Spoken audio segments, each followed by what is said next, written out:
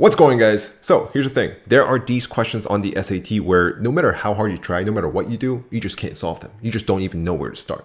And sometimes you ask yourself like, is this question even supposed to be on the SAT? Is this the SAT or did I accidentally sign up for MCAT? The technique that I'm about to show you in this video will actually help you solve these hard questions by allowing you to see what you couldn't see before. You see, the reason you can't even start on the question is because you're not seeing what you're supposed to see. Like the little connections, you're not seeing them, so you don't even know where to start.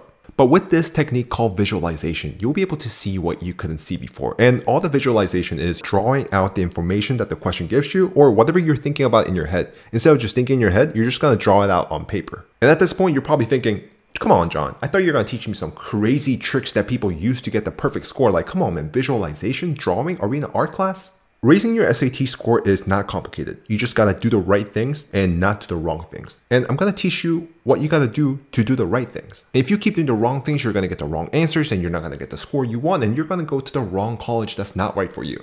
So in this video, we're to use some parabola examples. But don't worry, this visualization technique can be applied to any questions on the SAT and it will help you solve these hard, hard questions.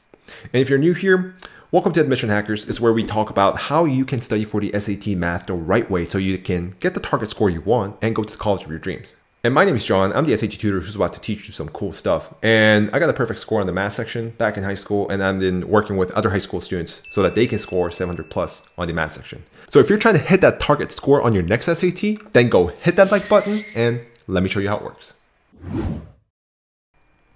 So when it comes to parabola questions, you want to be mindful of something known as visualization. And what is that? Well, visualization just means literally visualizing what you're thinking about. So instead of just doing it in your head, write out or draw out on paper exactly what you read in the question or what you're thinking about in your head, right? So after you read a question, you might be thinking, okay, I should probably do this, do this, do this, and do that, right? So instead of thinking about it or thinking about what you should do, so for instance, let's say you're dealing with a parabola that has a vertex of 4, 3 and is facing downward, right? So rather than thinking about this vertex in your head, write it on paper, draw it out. So on your paper, draw a parabola that has a vertex at 4, 3 and is facing downward. That's all that visualization is. It's really simple. Instead of doing in your head, draw it out on your paper. And how would that help you? Well, the benefit is that as soon as you start writing information down on paper, it's going to be even more well organized. Everything you think about, everything you read about on the question, and everything you need will be on that one spot. And when everything's in one spot, then it will help you see what you couldn't see before. There have been so many instances where students were stuck on a question for the longest time, but the moment they draw out what they read, what they were thinking about on paper, they can solve it right away because they could see what they couldn't see before. It's the weirdest thing, but it actually works. And if it works, you want to start using it. So let's start with this one. The question says, in the xy plane, the graph of the function f of x is equal to this has two x-intercepts, right? What's the distance between the x-intercepts?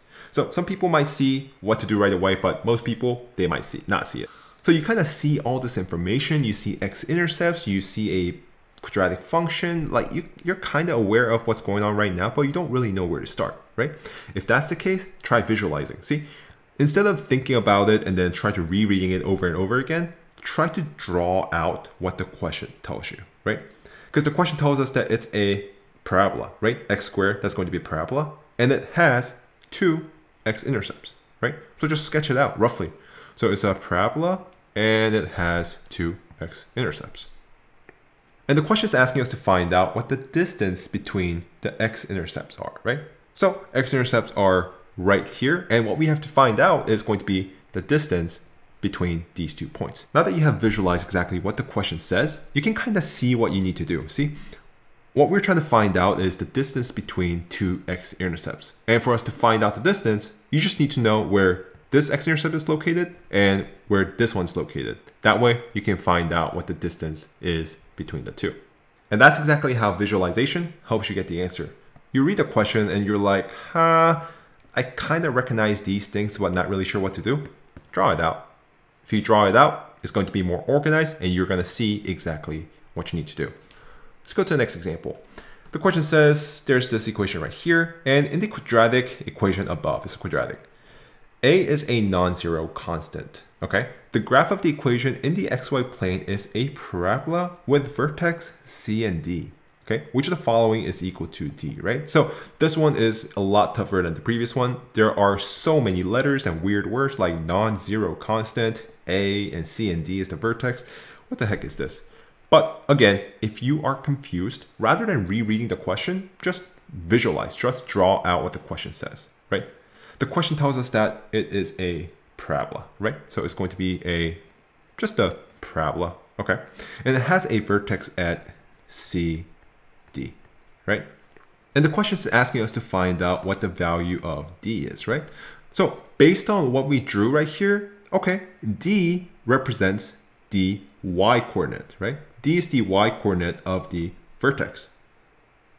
So essentially the question is asking us to find out what the y coordinate of the vertex is.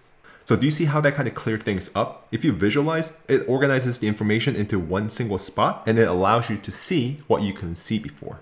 And some of you guys might still be stuck on like, okay, I see that I have to find out the y coordinate, but how am I supposed to find it?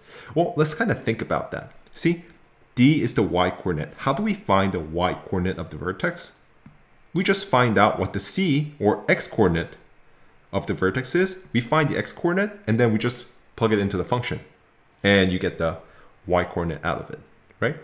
So if you know what the x coordinate is, then you can plug it in and you can find out what the y coordinate of the vertex is, which is what the question is asking us to find, right? And see, by having all this information in one spot, you can now see exactly where you need to go next. Our goal is to find out what the x coordinate is. And how do we find the x-coordinate?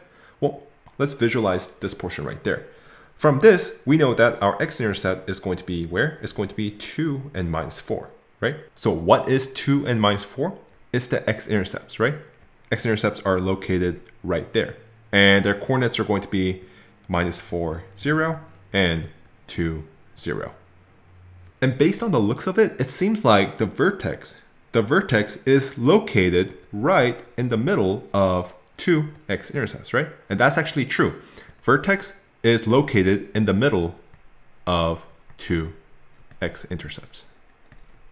Again, that's something you would have not been able to see unless you had drawn out and visualized what the question was telling you. And that's exactly how you visualize and help yourself get the answer rather than just reading the question over and over and over again and hoping it will click. No, just draw everything out on paper like we did here and you will start to see stuff that you couldn't see before.